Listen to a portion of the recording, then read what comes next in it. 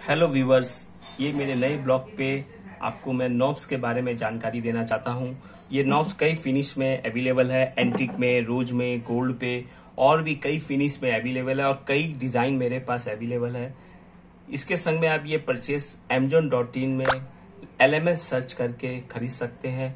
उसमें आपको कई प्रोडक्ट्स और भी दिख जाएँगे और मैं आपको धीरे धीरे अपने और भी प्रोडक्ट्स के बारे में अगले ब्लॉग्स पे जानकारी देता रहूँगा। Okay good bye.